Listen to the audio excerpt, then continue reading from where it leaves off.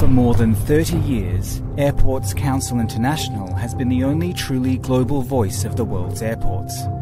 We provide leadership, advocacy and guidance to promote a safe, secure, sustainable and efficient airport sector, which is an integral part of the aviation ecosystem.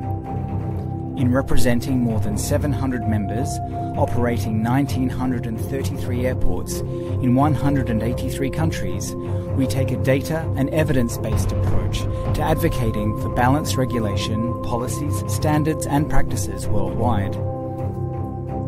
We are the world's best source of airport data, statistics, and analysis, and provide support to our members in every aspect of airport operation, from the airfield to the terminal, from safety to security, from economic regulation to policy support, from passenger health to customer experience, and everything in between. To help develop the aviation industry we need for the future, we also provide direct guidance, accreditation, assistance, and training to airports and airport people all over the world. This makes ACI the only organisation in our sector that works from a truly global to local level. Find out more at aci.aero.